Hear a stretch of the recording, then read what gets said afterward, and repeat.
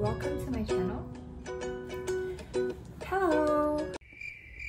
Hi everyone, so my name is Robyn and welcome to my first ever YouTube video. Um, so if you know me at all, you'd know that I have made many pivots in my career before I eventually got here. If you looked at my LinkedIn profile, there's like a lot of different jobs, even though it's only been like a couple of years since I started working. Uh, so yeah. So before we begin, I know the reason why you're probably here is because you also want to pursue a career in UI UX.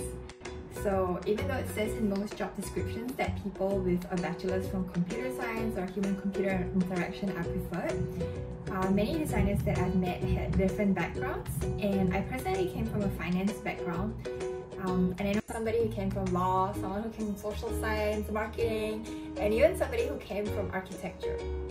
So if you have made the decision to be a UI UX designer, but you don't have any remotely close experience in it, and you're absolutely clueless on how to uh, become one, uh, fret not because you came to the right place and I'll give you some tips on how. Alright, so I'm gonna begin with my first tip. Look for opportunities to build up your portfolio and skill set where you're already at. My first job was as a product specialist in a telecoms company, Telstra, it's like Telecom Australia. Uh, and this buddy of mine in a, another department knew that her team needed someone to design a website for them. Um, and they didn't have a designer, so they were happy to let their developer design it however he best deemed fit. Um, so after I knew about this, I used this opportunity to introduce myself to the team to let them know that I was happy to design for them as a side project and if they didn't like my designs, they didn't have to use them. So it was like a playground. Like I can do whatever designs I want with uh, little to no consequences and if it turned out well then I have something good to add to my portfolio. Thankfully because they had a really low bar set because um, none of the people in the team were designers um, they really liked what I'd done and thus they decided to allow me to begin my month-long side project with them.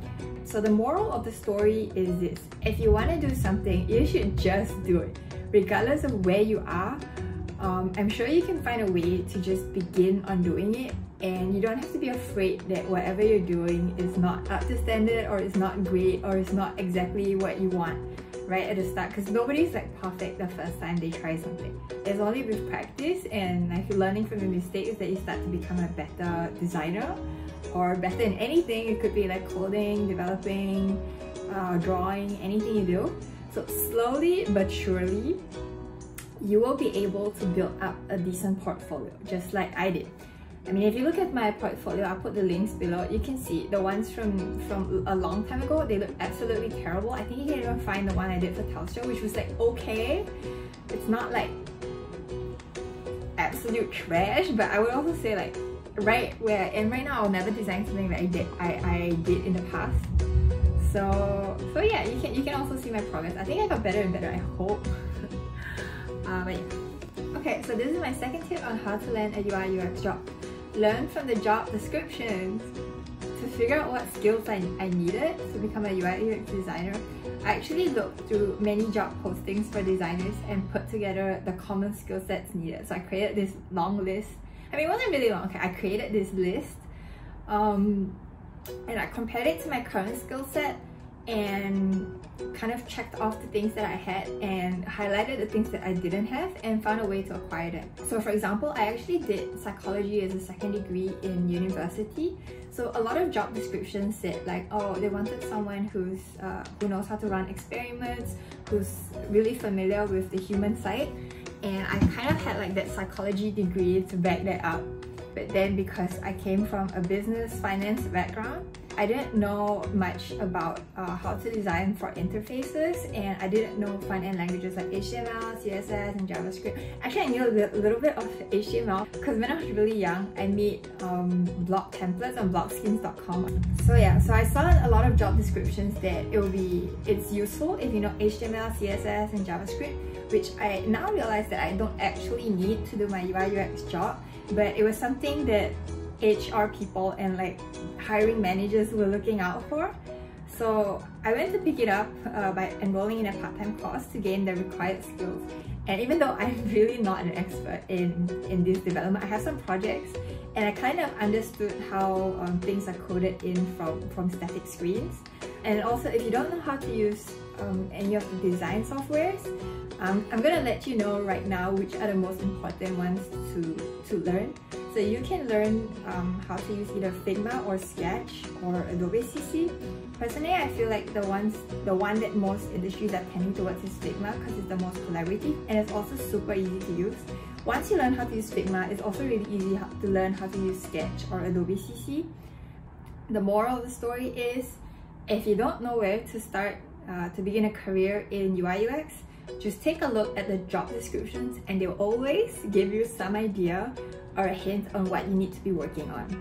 Okay, so now I'm down to my final tip to prioritize your learning before money.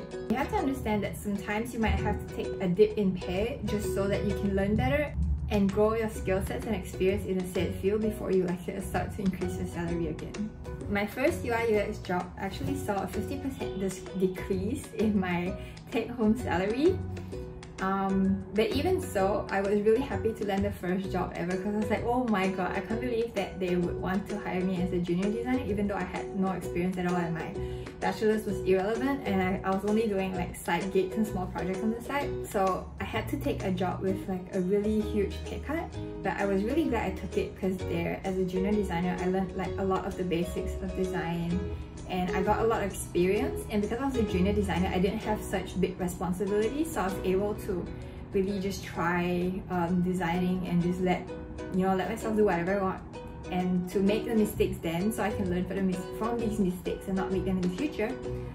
Um, and yeah so once I kind of mastered that it was really easy after to find a new job with a higher salary and again another job with a higher salary and slowly build up my skills and portfolio. So my last couple of tips um, if you're about to embark on a journey on UI UX is just if you see many courses online that tell you like oh um, take a course now and learn to be a UI UX uh, expert and they cost a lot of money you don't actually have to do that because there's a lot of courses online that are already free and even if they're not free they're just slightly more expensive they're maybe like $10 or $20 like you can find really good classes on Udemy.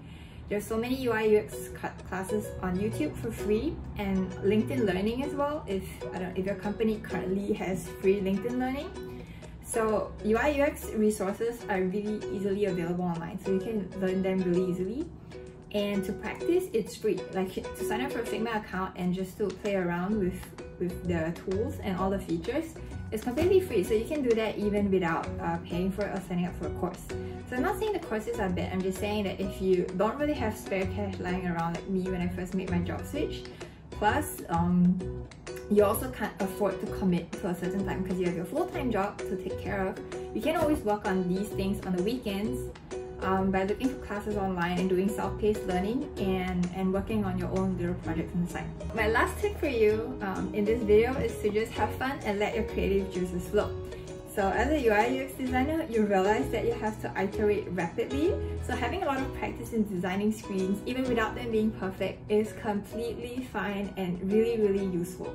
So if you want to be a UI UX designer, I would suggest just do it, let your creative juices flow, have fun and enjoy the process.